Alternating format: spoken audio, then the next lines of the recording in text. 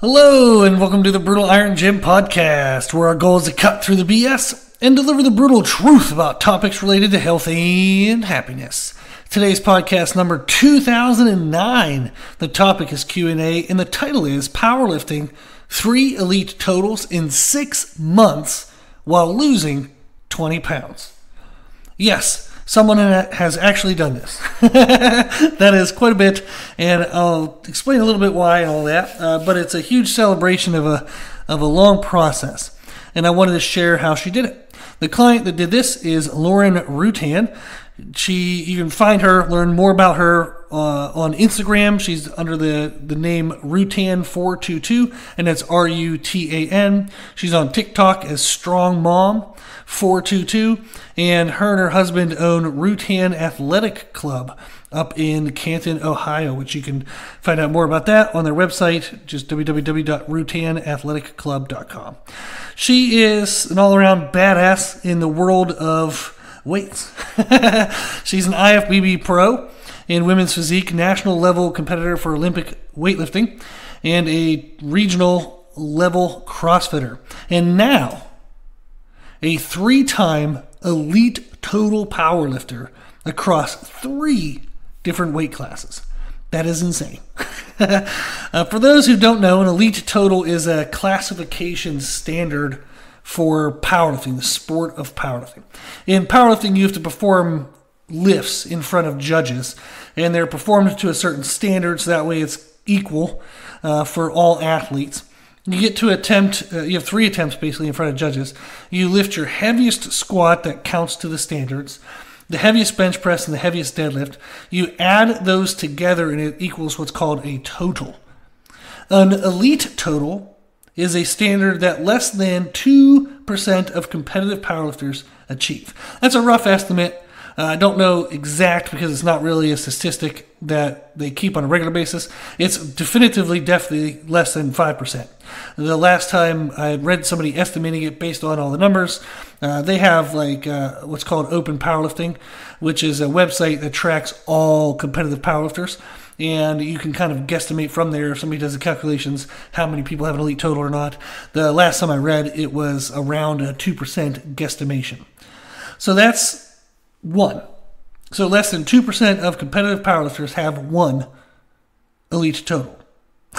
so what's interesting is the amount lifted across all three lifts to achieve a total is variable. Uh, like that's the standard of how you find uh, how to classify people. You classify them by their total. So not not by individual squat, individual bench, individual deadlift. There are definitely records where people compete to see who has the best of those individual lifts per weight class. But it's when you combine them together that gives you the total, and that's the thing that is uh, standardized across all weight classes. The idea is they have a calculation and a process to where they try to make the elite total for all weight classes equally hard to achieve. So Lauren has an elite total in the 148 pound class, the 132 pound class, and the 123 pound class. The idea is in each of those weight classes and all the others that it's equally difficult to get the elite total. Uh, that way, it's kind of an equal challenge for all competitors. Now, per weight class, per single person, like we said, less than 2% achieve that. She has now had three of those. So, that is an insane, insane accomplishment to have three of something that less than 2% of people achieve once. uh, that's absolutely insane. There, I don't know actually a list of how many people have have achieved an elite total because it's so rare. It's not like kept. Nobody keeps that record, uh, or if they do, it's pretty well hidden because I have no clue. and I've been training people for this forever. Uh, so I know the, the list includes Ed Coan, who is like the goat of powerlifting. So Lauren is in very good company. it's extremely, extremely rare. Uh, just so, so, so happy for her. And I wanted to share kind of a little bit of our history of working together and then what we've done to achieve what you can read in the title is three elite totals in six months while losing 20 pounds. Now, Lauren and I have worked together in the past. When she first ever got into powerlifting, I coached her and helped her, and we got an elite total in the 132 pound weight class. From there, we switched to competing in aesthetic competitions. So she had competed in women's figure competitions when she was in like early 20s, but hadn't done it since then. And we were working together whenever she was in her 30s now. And I was like, well, you know, you did the you did the powerlifting thing. We got the elite total. What do you want to do next? You want to go into aesthetics? Like, you want to do like revisit some of that? And she's like, hell yeah. And it was made sense. She could build muscle like her body responded very well to building muscle. That typically means it's very hard to get lean, which is the typical of the truth. If somebody builds muscle very quickly, it's going to be hard for them to lose body fat. If somebody is very lean naturally, it's harder for them to build muscle. So there's always a little bit of a give and take. So we competed in aesthetic competitions, and we ended up getting her IFBB Pro card in women's physique. Now, each of those accomplishments are incredibly rare. so I'm going to like say that and then move on as if that's just like, oh, yeah, so so. that's freaking awesome. So again, she got the elite total in the 132 class. Less than 2% of powerlifters get that. And then she got her IFBB Pro card uh, through the NPC in women's physique. I do not know the percentage for that, but it's probably damn near the same percentage. It's very, very hard uh, to get a pro card in aesthetic competitions. Since then, and along the way, she has had six kids in total. Yes, Lauren has six kids. And then at the end of 2023, we started working together again. And the intent was to get back into the competitive spirit. She had had the sixth child and was wanting to get in better shape. She had competed in a powerlifting meet on her own and surprised herself. She did pretty well, and she's like, man, maybe I could get back into this and really have some fun. And that can be a motivator for her to continue to recover from pregnancy, continue to lose body fat, kind of regain the strength that she used to have. When we started working together, she was around 145 pounds. She found a meet, and in like eight weeks of us starting, she was able to compete in uh, that meet. And during that prep, we focused on tightening and strengthening the abdominal wall. Uh, Post pregnancy, people will suffer from rectus diastasis, which is the separating and spreading of the ab wall. It's like a thinning out of the ab wall, and that can make you very susceptible to injury. So we had to tighten that in and strengthen the abdominal wall. We also had to strengthen all the muscles around the groin and the hip. Super important. You got to fix and strengthen all that stuff and work on a ton of mobility work so we can get into the right positions. Uh, and then we also had to grow our glutes uh, not only to make them stronger for the main lifts, but also to protect her lower back. The glutes and the abdomen, the ab muscles, help support the lower back. So we want to keep her super, super safe.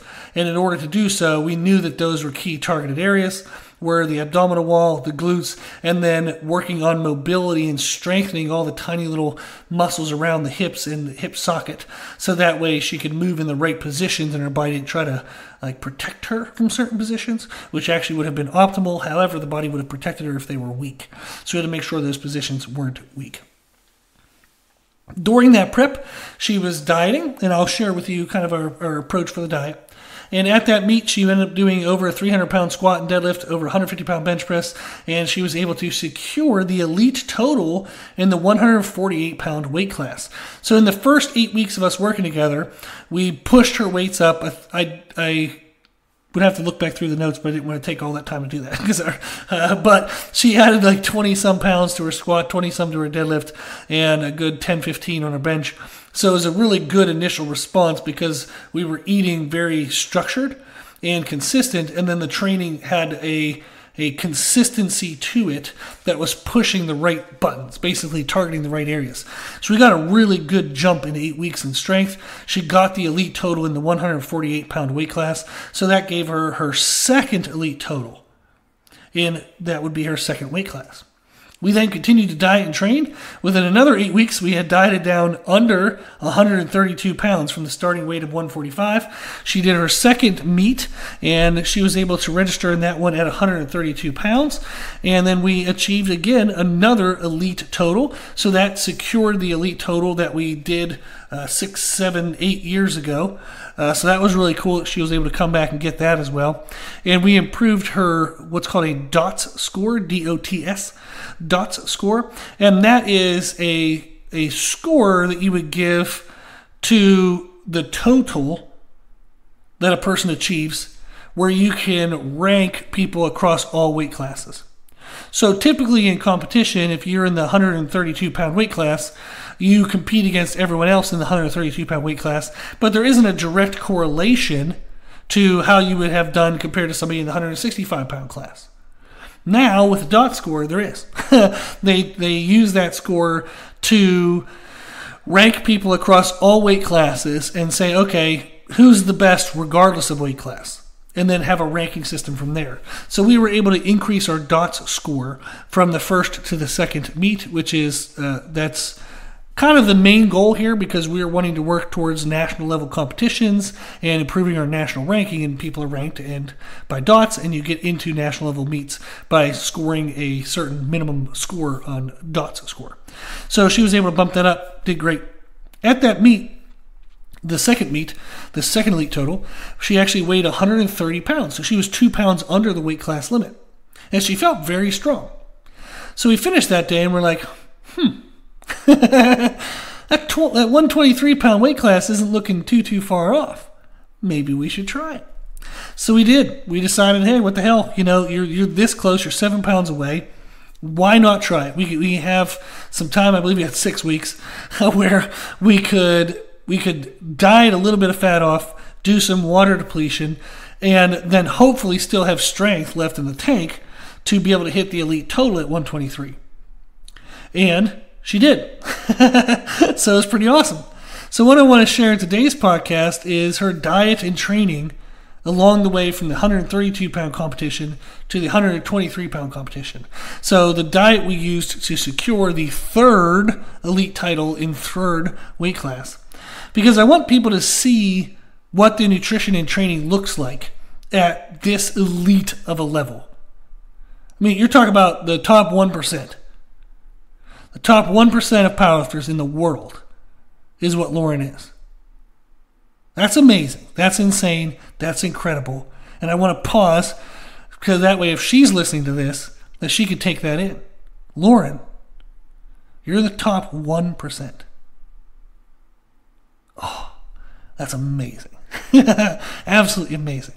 So I want to share what we did so that way the listeners can hear what secrets we used how much time per day it truly took her to do all of the work, and how perfect everything had to be along the way. And what I think is going to be neat is for everyone to hear that there are no secrets, that it didn't take an extreme amount of time, and that nothing was perfect. life is absolutely chaotic when you have six kids. And then also along the along those past six months, uh, her and her husband bought that Lauren Athletic, uh, I mean the Rutan Athletic Club. They they bought the club, kind of developed it, and they're starting a brand new business. Can you imagine having six kids and starting a brand new business? And while achieving three elite totals, losing 20 pounds. I mean, this is crazy, right? The stars didn't align. Lauren shoved the stars in place. and that's what I want everyone to hear is what I would tell Lauren to achieve what she's achieved isn't anything different than I would tell any of my other clients. It takes the same steps. Lauren has been diligent and consistent with everything along the way. She manages as much as she possibly can, and she's consistent with what she manages. So not only does she take care of her nutrition, tracking her calories, protein, and timing of her foods, not only does she take care of her training, making sure she never misses a workout, but she takes her supplements on a consistent basis. She manages her sleep as consistently as possible. And she works on controlling her stress levels, which I'm sure there are plenty of. But she's attentive to the big picture of things, but also attentive to each little nuance. The people who have achieved great things that I've gotten to work with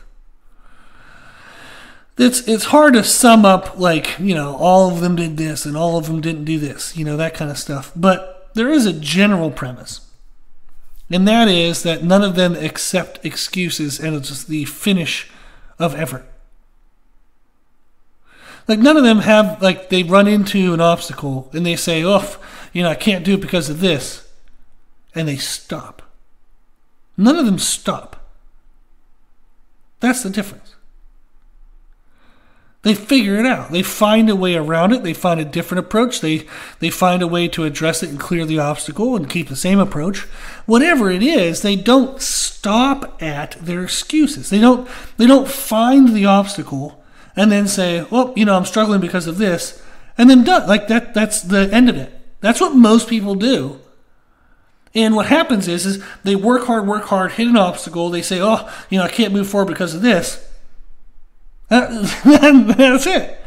Then they just keep doing whatever is on this side of the obstacle, but surprisingly, they're not progressing very much because they're not getting past the obstacle. They're not getting to the next level.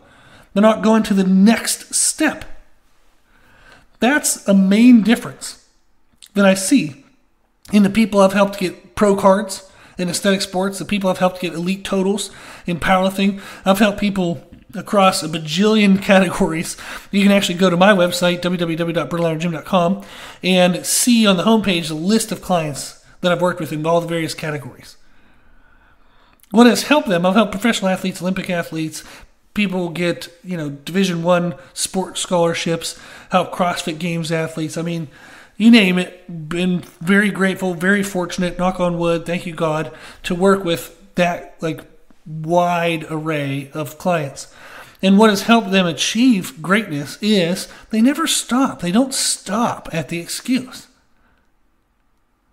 That would be a big thing, as you can tell because I'm still rambling about it, that I would encourage everyone to think of.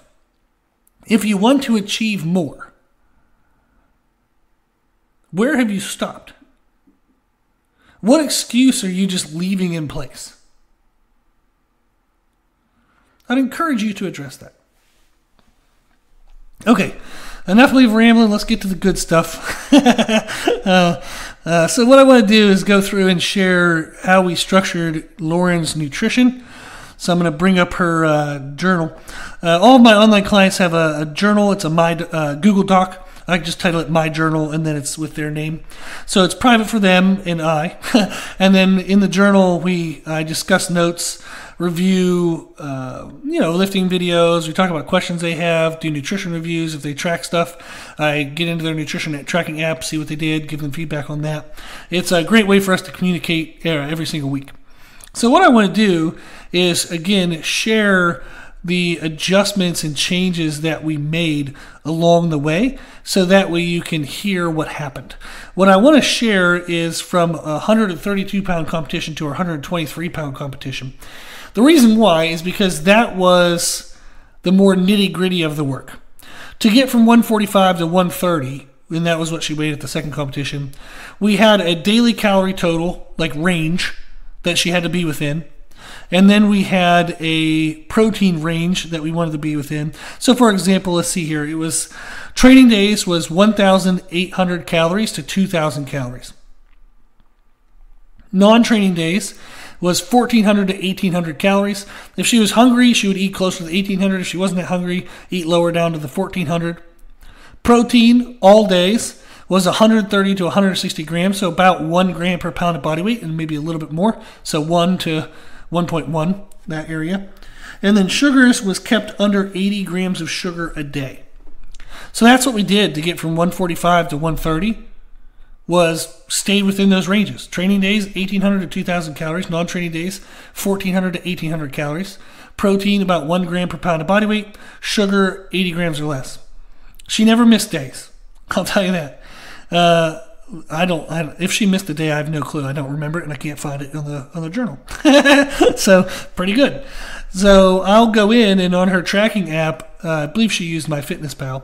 Well, on her tracking app, I would sign in and look at each individual day and say, okay, well, what was the calories, what was the protein, what was sugar, and then I would check and see the distribution of the calories and protein throughout the day, make sure it was pretty well spread out.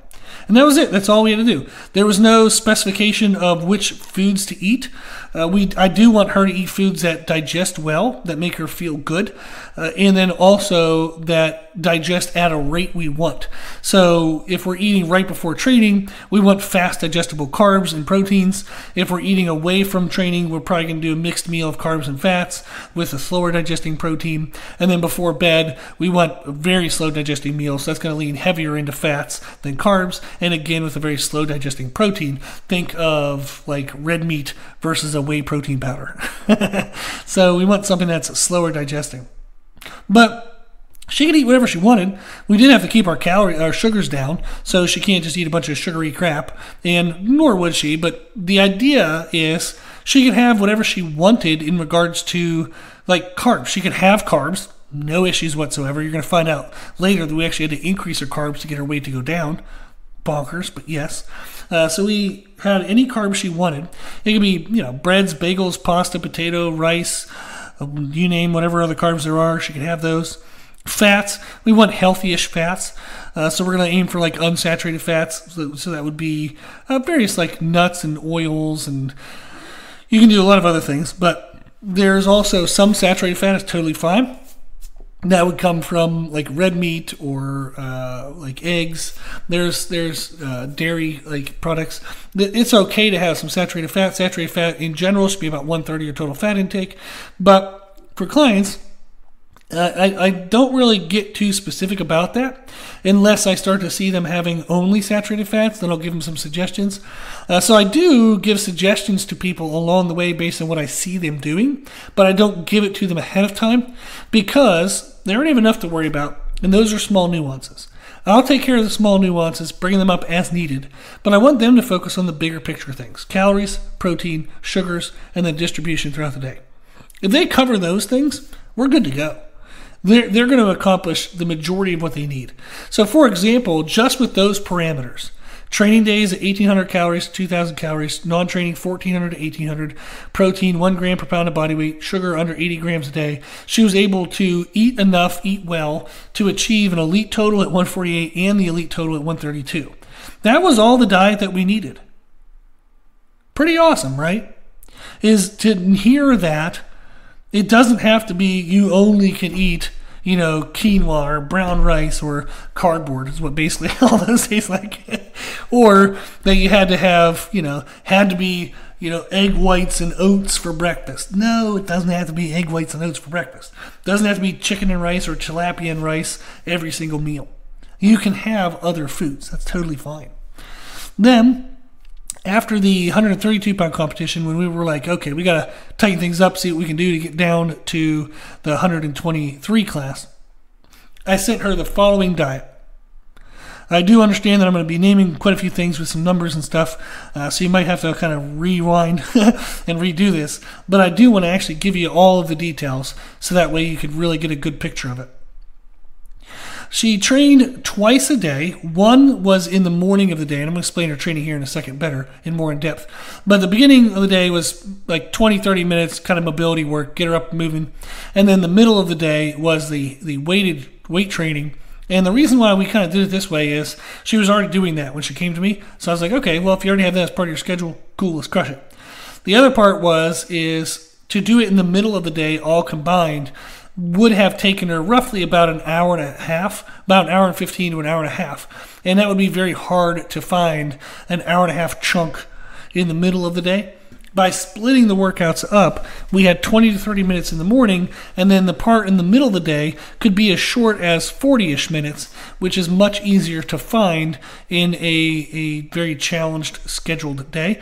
So you have six kids, brand new business. Where in the world are you going to find time, right? She was able to find 40 ish minutes here or there, as opposed to having to find an hour and a half, which we know requires actually prep time to get ready for that and then time to come out of that. So it would essentially be like two hours that she would have to carve out in the middle of the day. That's very challenging, much more challenging than just finding 40 minutes. So she trained twice a day. Before her morning session, we would never work out fasted. Don't do that. Uh, if you want to learn more about that, I do have past podcasts that talk about exercising in a fasted state. I have given it to people at specific situations. Uh, so I'm not a fan of it, but podcast 882 is a nutrition podcast titled If I Hate Fasted Exercise, Why Do I Sometimes Prescribe It? so I'll give you why I do it sometimes in podcast 882. If you want to find the older podcasts, if your podcast player doesn't go back that far, you can go to our website, www.brutalirongym.com, scroll down a bit. On the homepage is a, a podcast player, and underneath that podcast player are instructions on how to find older podcasts. So podcast 882 talks about if I hate fasted exercise, why do I t- sometimes prescribe it. And then podcast 614 is a nutrition podcast titled The Effects of Caffeine Fueled Fasted Workouts. Often people take enough caffeine to not notice that they're underfed, uh, but the body knows that, and you get a lot of negative responses. Uh, if you're not taking certain supplements, uh, wink wink, that can protect against those negative uh, effects, fasted exercise is, a, is kind of a big no no.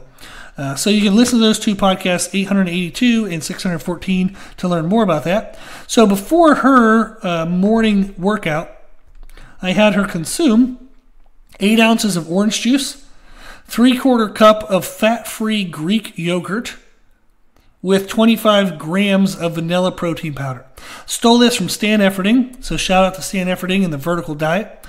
Is he works with a lot of athletes, very high end level athletes, and one of them, uh, Mitch Hooper, uh, who is the current world's strongest man, was talking about using this shake as a way to get uh, kind of a good influx of uh, protein in. So his portions are definitely different because he's a 300 plus pound, you know, giant man. but he was using this drink and credited Stan Efferding for it.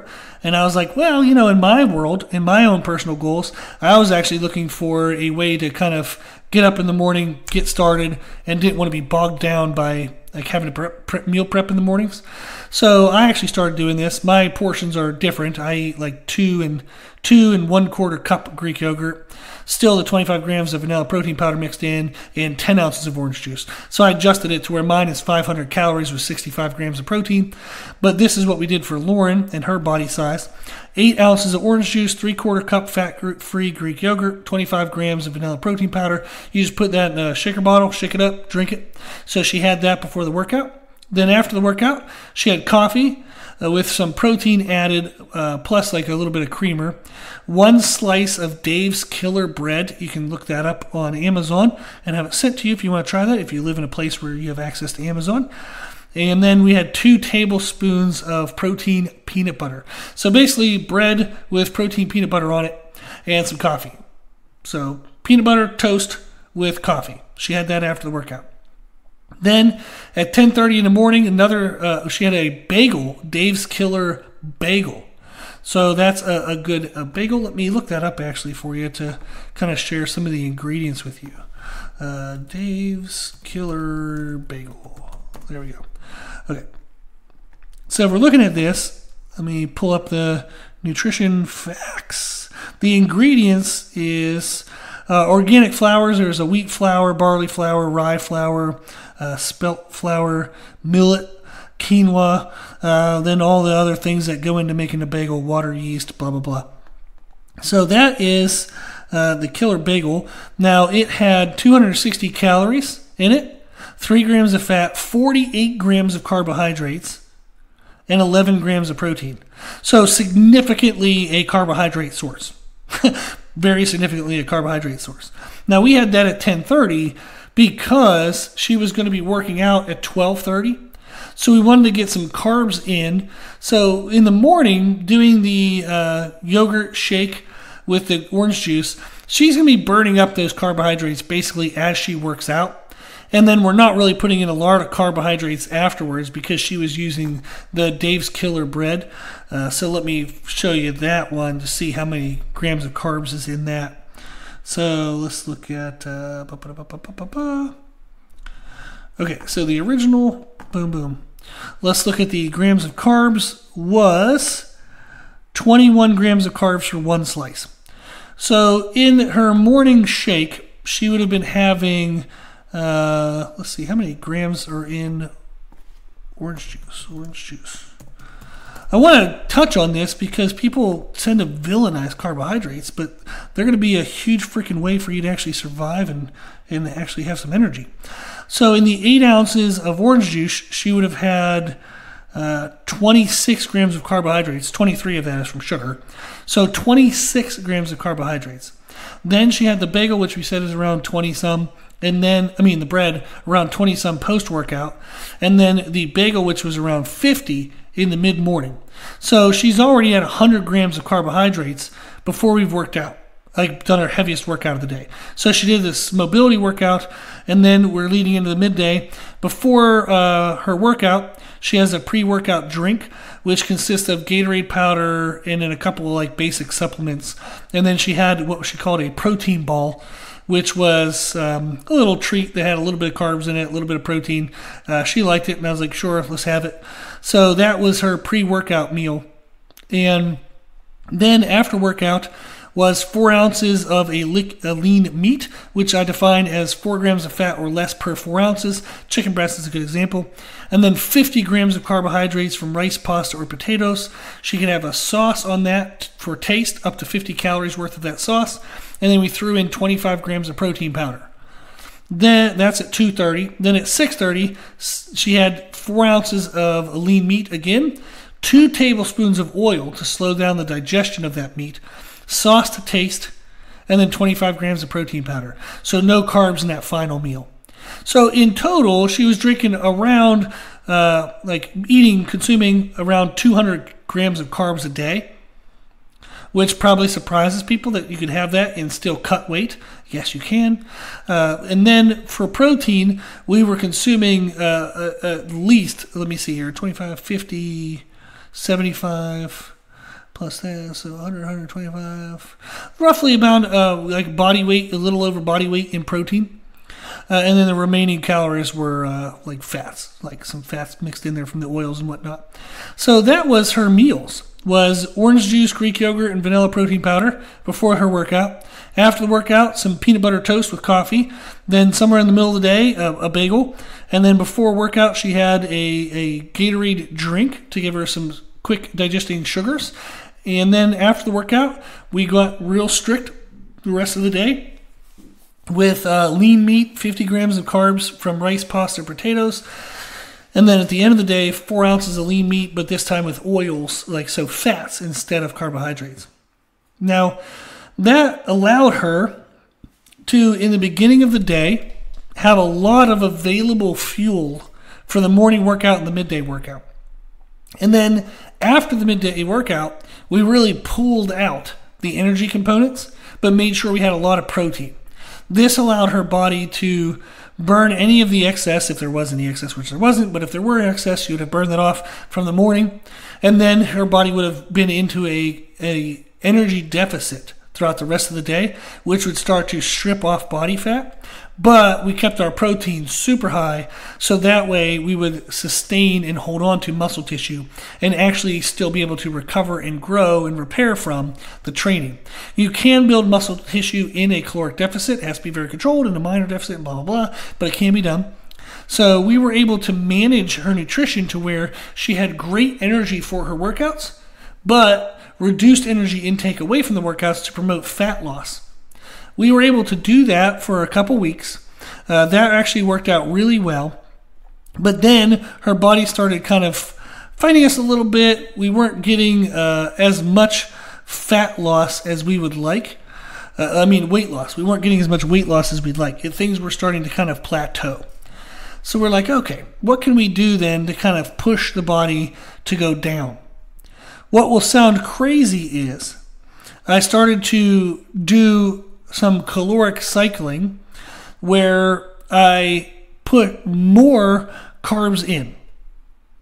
And what this did in, in like the summary sense is I put more carbohydrates in so that way we could reduce her body feeling that body fat was at risk in a in a simplistic way of saying this is when you try to lose body fat, it's best to take the fat off in a manner in which the body is willing to give away the fat. Body fat is protection for the organs, protection for our body to stay alive.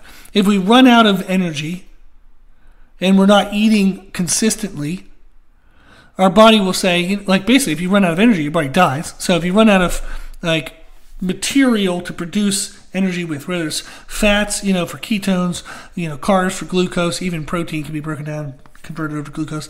But if you run out of those building blocks of energy, the, the organs can't function. What happens then is if you eat inconsistently, meaning you kind of eat whatever, whenever, the body doesn't know when you're putting energy in. There's no predictability to it. So the body feels at a high degree of risk Therefore, it's going to retain and hold more body fat. How does it know that? Well, if you have like deficit periods that are very extreme, meaning you, you don't like, maybe you don't really eat breakfast, you eat a kind of haphazard lunch, and then you eat at dinner, but the dinner isn't 100% consistent all the time, meaning some days you eat more than you needed, some days you eat less than you needed, some days you eat exactly what you needed, but then you go to bed. Well, the body is processing that food while you're, you're sleeping some days it's going to process and then be emptied out and then say, oh, geez, you know, we kind of don't have enough energy for what we need to do. Let's tap into body fat storage. So it starts to break down some body fat. Then you wake up, you don't eat enough at breakfast to stop that. The body's like, damn, okay. Uh, we're still, you know, still burning a lot of body fat. Lunch, don't eat enough, still burning a lot of body fat. So then by the time dinner rolls around, your body can sense that a, a significant portion of body fat has been burned off and then all of a sudden you influx a bunch of like you intake a bunch of calories and the body says oh hey you know we had to burn a lot of body fat. And if we continued at that rate of loss we would potentially run out of body fat and die. So let's take some of the surplus we have in this moment. Let's replace as much of that body fat as we can. And if it has enough surplus it'll replace more than what it burned off. So i've talked about this with a, like a bank account is if I'm constantly spending to my paycheck, spend, spend, spend to my paycheck, spend to my paycheck, spend to my paycheck, then all of a sudden an unexpected bill comes through. Maybe you got to replace a water heater. you know, maybe your car broke down, and all of a sudden you're in the red, you're in the negative. The next time you get the paycheck, hopefully, hopefully you don't spend to the paycheck. You're like, crap, in case that emergency happened again, let me save a couple hundred bucks. So then you save a couple hundred bucks that paycheck, save a couple hundred bucks the next paycheck. Then maybe the emergency doesn't seem so stressful anymore because it's, you know, out of sight, out of mind. Some time has passed. So now you start spending towards your paycheck again. And then the next emergency comes. You're like, oh, hey, that was pretty good that I had that savings. I can now spend my savings. But the savings got chewed up, and maybe this expense was bigger than the last one. And you're like, wow, damn, you know, I saved 400 bucks, but I needed 600. Okay, let me go back to saving, but this time I'm not going to stop at 400. I'm going to save 600. But since that happened, maybe I need to save 800. So you save 800. Another emergency rolls around, but before you can save back the money, another emergency rolls around, and the combination of the two emergencies cost you a thousand. So now you work to save not just 400, not 800, not a 1000, maybe 1200 or 1400. So you can see the approach would be is you felt the stress of overspending so then, when you had the opportunity, you saved what was needed and more for protection. The body does the same thing with calories and body fat. So, what was happening with her was we had the body drop some body fat, but then it was grumpy. It was very mad. It didn't like it because it was having to give up body fat. But since she was controlled and consistent every single day, there weren't surpluses to where the body could replace the body fat that was burned off. So, what started to happen was the body felt stressed. And when we feel stressed, we produce cortisol. When we produce cortisol, we increase water retention. So, although she was continuing to lose body fat, her water retention due to the nutritional stress was increasing, and therefore on the scale, we saw it stay the same. The scale kind of stayed consistent and we're like, oh, this is an indicator because we're definitely eating in a caloric deficit. Fat has to be, physiologically, has to be coming off. Why do we not see that in the scale? It's because there's an increase of stress, there's an increase of water retention. How do you get rid of water retention? You could force a diuretic. We compete drug tested, so we're not going to do that. so it's like, what's the other methods we have? Well, I could reduce the nutritional stress by adding carbohydrates. I'm not going to add so much that it takes us out of a deficit, but I'm going to add enough to reduce the nutritional stress, to reduce cortisol, to reduce water retention. I added carbohydrates, 50 grams of carbohydrates in the middle of the day. We added that to her breakfast in the morning, that Dave's Killer bread with the peanut butter, so the peanut butter toast with the coffee. We added 50 grams of carbohydrates right then. So, right after her morning workout, right when her body would have been struggling to find energy, we reduced the stress. Within, I think, within a day or two, she lost two pounds of water weight and then we lost an additional pound over the next couple days. So we ended up adding carbohydrates. We added 50 grams of carbohydrates to her breakfast.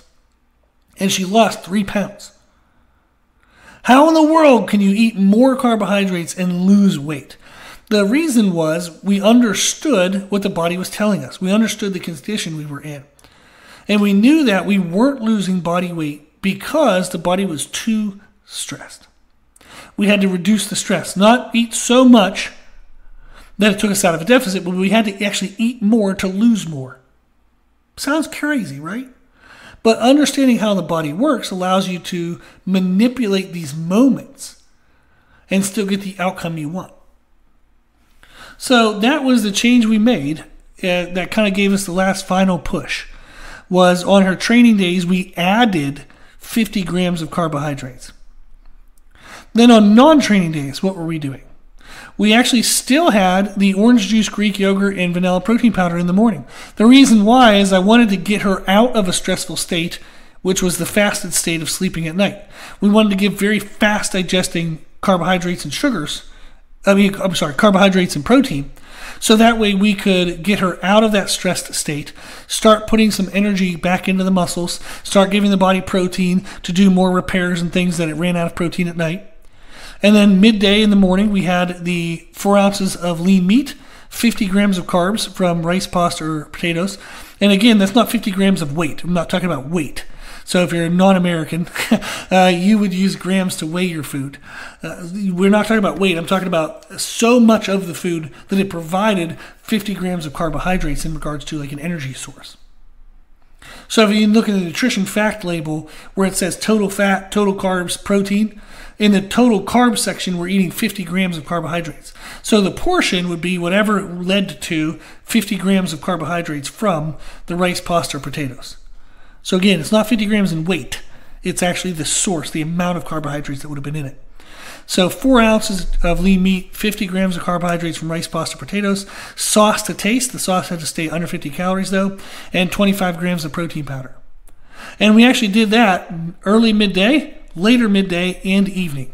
So she had three of those meals, and then in the morning had the orange juice, uh, the Greek yogurt, and protein powder as the shake. So that's, that, that is what we did on non training days. So this allowed her, you can see there, she had 150, probably 175, 175 ish uh, grams of carbohydrates every single day and we still stayed at around body weight in grams of protein. And that allowed her to lose the rest of the weight that we needed. She didn't have to avoid all carbohydrates. We actually added more carbohydrates. What allowed her to be successful was that she was consistent. Initially, we were consistent with that 1800 to 2000 calories a day for training days, 1400 to 1800 calories on non training days, one gram per pound of body weight, and then under 80 grams of sugar. That was the diet that we started with. If you notice, there was less specifics there. Uh, we didn't talk about lean meats, didn't talk about specific carb sources, uh, but it allowed us to make great progress. When we wanted to push for progress, what did we do? We tightened things down in the sense that I gave her a specific breakfast the orange juice, Greek yogurt, and protein powder because I wanted a specific response from breakfast. Could we have used a different type of sugar source? Yeah. Could we have used a different type of protein source? Yeah. But this was what I wanted uh, because I, I personally have experience with that meal, and I knew that it was going to give her quick but not too quick digesting protein and sugars, meaning it would have gone into her system fast, but it wouldn't have caused like digestive dumping, which means uh, like uh, a release of too much water into the bowels, and then she would have had diarrhea. So I wanted her to have fast digesting carbs and protein, but not so fast that she wasn't going to have a good workout because she was in the bathroom. So we had to control that.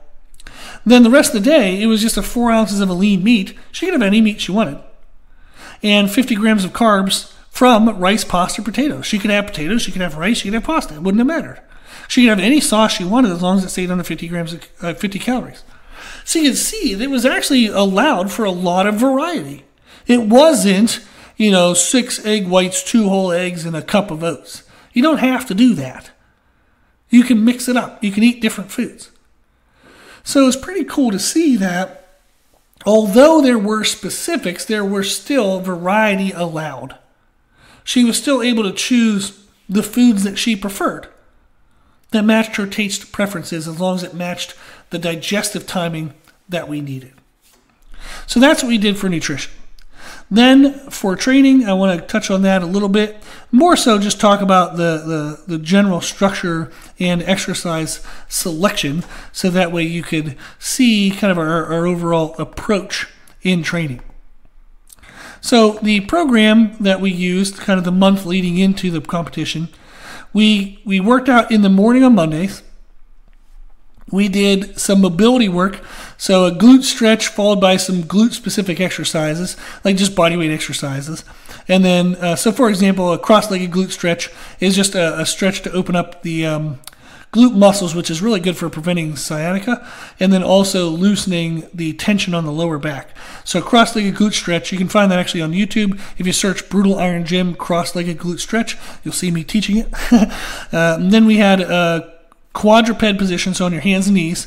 She had to do uh, hip circles, which is basically picking up your leg and kind of doing circles with it to open up the hips, and then a glute, glute crossover, uh, which is basically you extend your leg behind you and you kind of cross it over the other leg, back and forth, back and forth. So just a nice load on the like glute tension, but it's just body weight. And then we had planks where we did alternating leg lifts in the planked position from the elbows. So not planks from your hands, plank from your elbows, and she lift one leg, then the other leg, one leg, then the other leg. So that's really good for core and for glute work and hip positioning.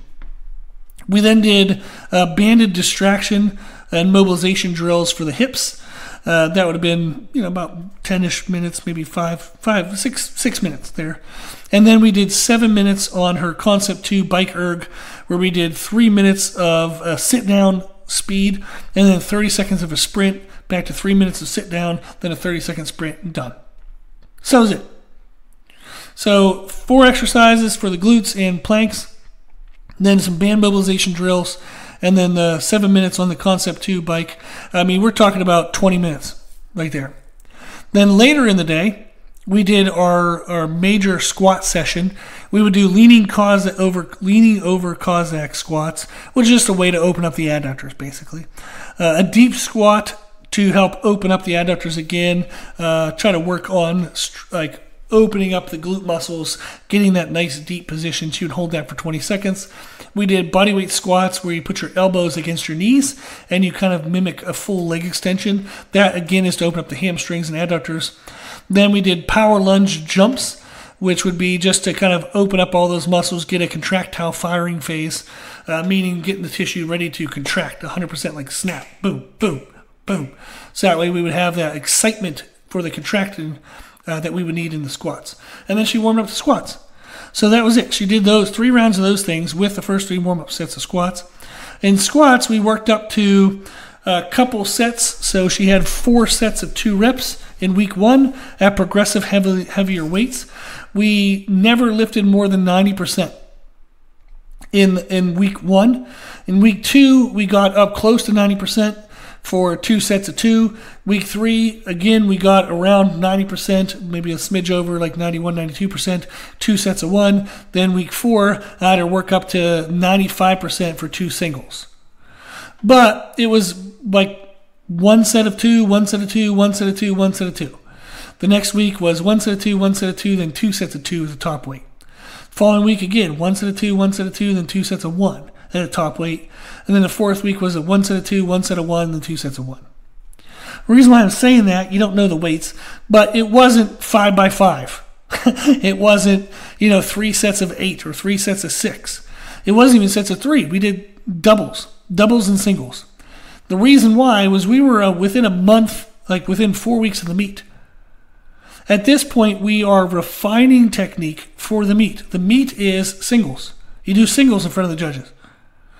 What often happens when people do multiple rep sets, the first rep is trash. They fix their positioning based on how the first rep felt. The second rep gets better. Maybe the third rep is the best. And then from there, it's kind of a hodgepodge mess. but typically, people are used to the first rep giving them feedback and the second rep being better. You don't get to do that in a powerlifting meet. You only get one rep in a powerlifting meet, one attempt like one rep per attempt. So it's important to practice singles so you don't get lazy with the first rep of a multiple rep set. I wanted her to do singles, so she was forced to get it right. You you literally have to be right once. you don't get to feel out the first rep and then adjust on the second rep. And this is something I'll see very often in social media posts when people will show multiple rep sets. The first rep, they're out of position. The second rep, they're much cleaner.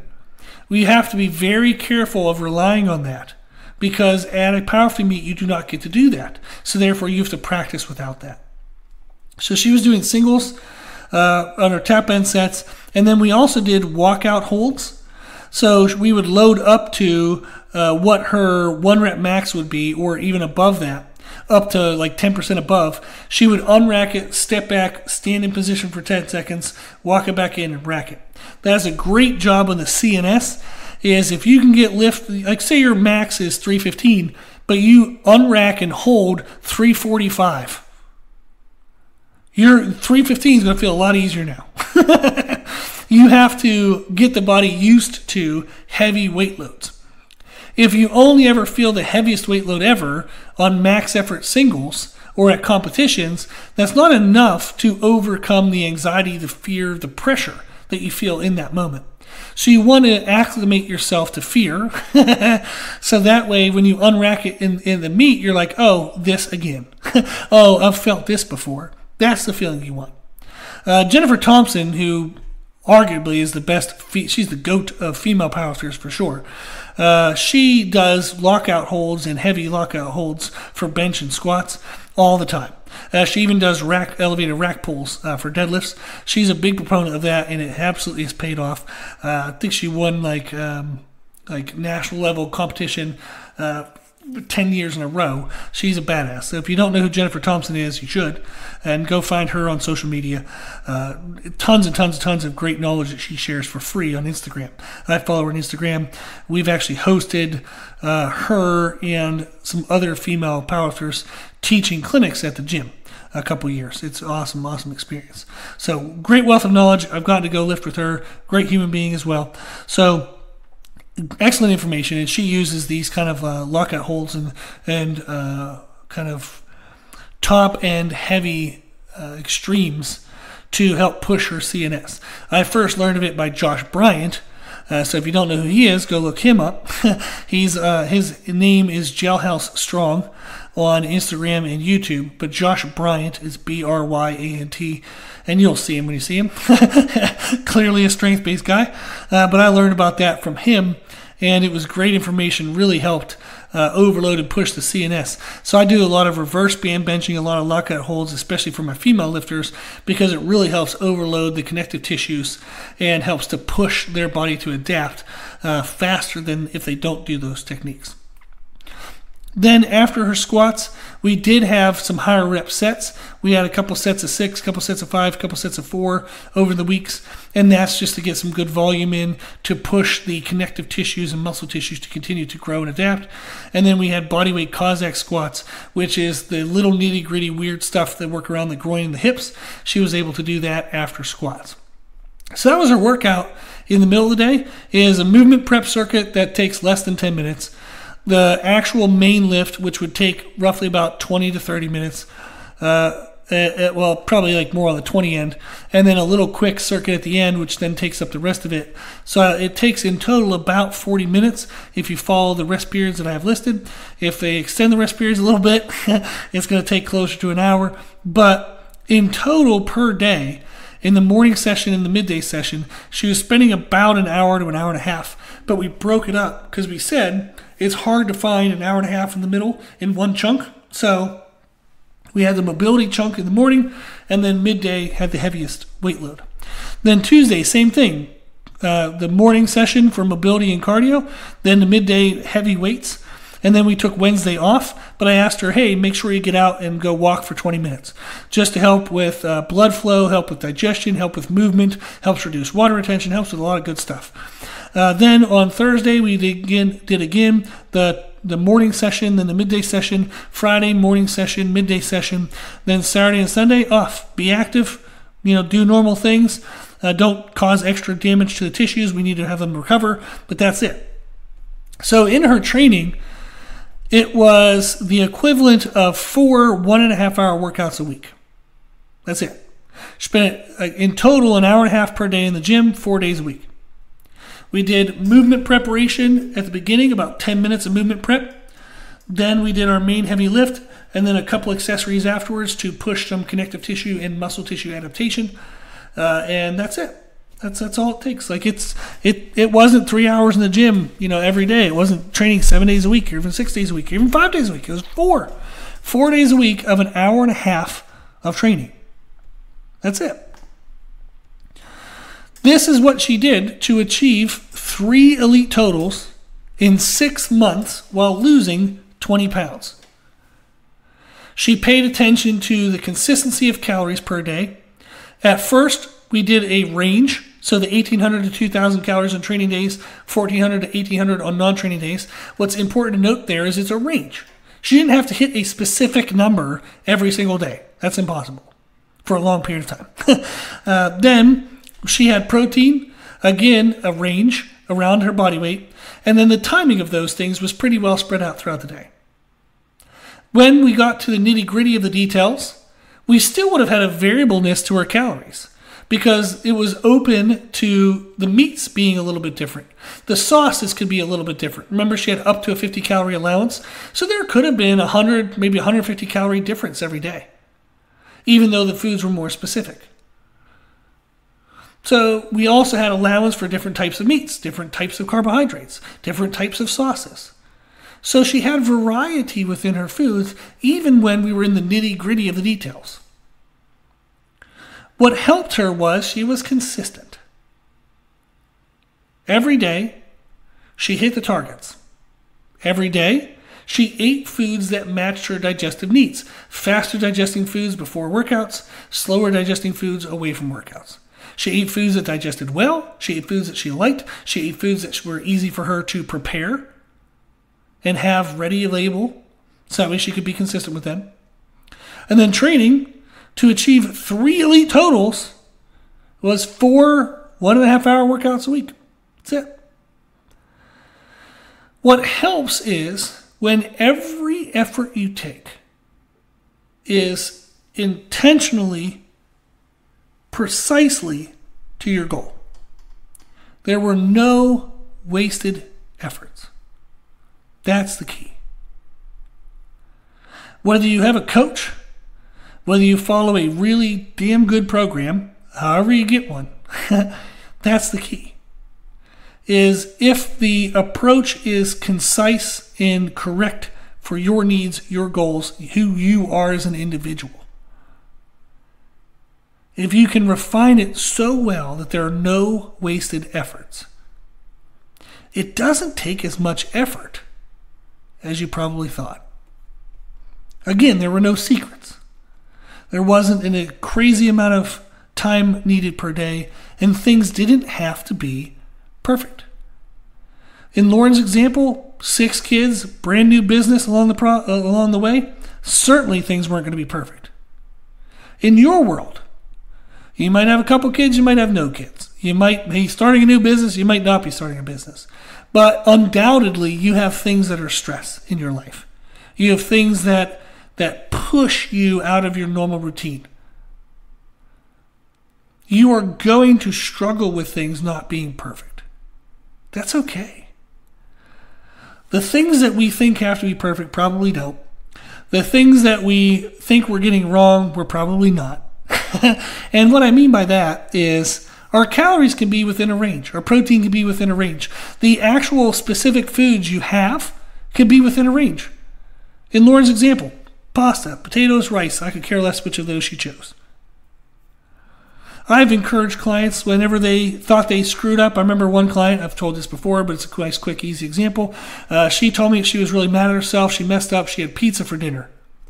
Well, when I stopped her and we talked about what she would normally have for dinner, how many calories it should have, how much protein it should have, we found out that the slice of pizza actually was okay and she underate. She actually didn't have enough food. So she ate a piece of pizza thinking that she wrecked her whole damn day, like was super discouraged, and we found out that she actually didn't eat enough. so people sometimes get too narrow minded with specifics of foods, and that actually isn't entirely necessary. What's more important is the calories and the protein of those foods and when we have them, the timing.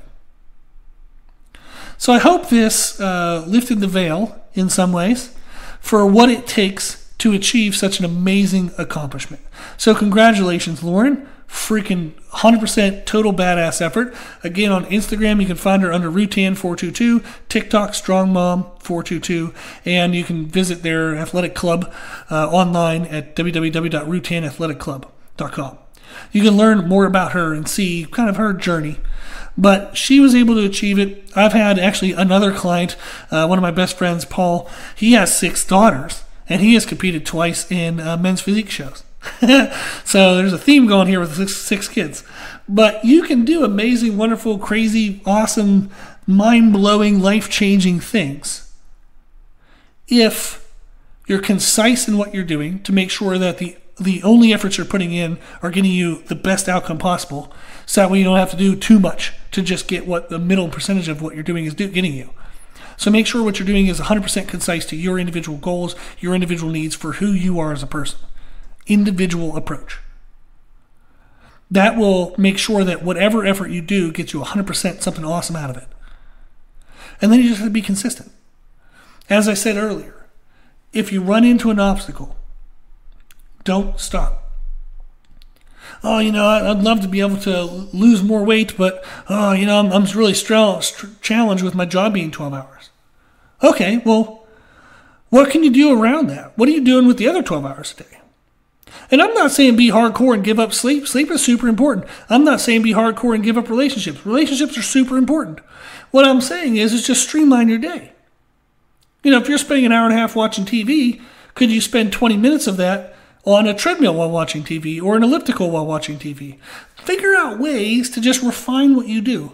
Do not be all hardcore. You don't have to give up your whole life to achieve great things. But you have to you have to put some effort in. You have to do some things that are uncomfortable. You have to do some things that are they're not as fun as eating whatever the hell you want and laying on the couch all day, right? We know that in life. uh, we we have to go to work because we need to pay bills. Uh, so there's a lot of things in life that we do that. Okay, I'm gonna I'm gonna enjoy some of my life, but I know I gotta fit this in if I want to achieve what I want. That's all it takes. Is just okay. I want to enjoy my life, but I gotta fit this in we have to be a little more willing to quote unquote fit this in. How we do that is to increase our stress margin and better manage our time. Those are two components. I would say the stress thing is the biggest. The reason why we often don't take on the necessary things to achieve great goals is because we're overburdened, we're overstressed already. We can't add more when we're already stressed. So I want to give you a couple podcasts that will help you learn how to manage stress better. Okay, uh, let's see here. Um, we have a lot of podcasts on stress, so I want to try to figure out uh, a couple good ones. So, podcast 1547 would be a good podcast. It's a mindset podcast titled "Minimize Stress by Doing the Minimum." Uh, there's actually there's actually a way you can kind of cover all goals by just doing a baseline minimum, and that that podcast will teach you how to do that. And then podcast 1346 is a mindset podcast titled Mental Management When Stressed. So that'll be a really good podcast as well to learn how to just manage life when you're in a stressed state. So podcast 1547, podcast 1346. All of this information in today's podcast, because I know it's a long one. Let's see here, we're already over an hour. It's a long one. But I wanted to share it because Lauren's accomplishment is amazing. But I want you to see it doesn't take what we traditionally associate as amazing, meaning crazy sacrifices, spending all day in the gym and eating horrible, boring food. What it does take is a sustained energy and effort consistently. That's it. Just consistency. That's the thing. That's the key. If you're consistent, you can achieve great things. So focus on how to be more consistent and you can achieve great things. Thank you, Lauren, for showing us what's possible. Thank you to all my clients who listen to the things I tell you so we can crush amazing things and I get to have the fun of making awesome podcasts like this. So thank you to everybody who works with me. I greatly appreciate it. Again, congratulations to Lauren. And for all the listeners, if you have any questions, if you need anything, go to the website, www.brutalirongym.com. You can go to the bottom of the homepage. There's a contact form. You can contact me for anything you need. Also, you can check out our 101 services page to learn about the different types of services we offer. Uh, there's just a ton of free information on the website as well, if you want to check that out. If you like the podcast, please share the podcast. The more people we share the podcast with, the more people we can help. I would love to get the messages that are shared in the podcasts out into the world for more people to learn from that and to just have healthier and happier lives. So please, if you don't mind, please share the podcast in conversation with people on social media pages. However, you do it, I appreciate that you do it, and hopefully they will as well. If you like the podcast, you can also consider donating to support the podcast financially, which you can do on the website. And if you like the information we share in the podcast, you can find more from us on our social media channels. You can find us and follow us on Instagram and YouTube under the name Brutal Iron Gym. If you do check those out, make sure you subscribe, make sure you follow, so we can build the platform so again we can reach more people and help more people. As always, I hope this was helpful and thank you for listening.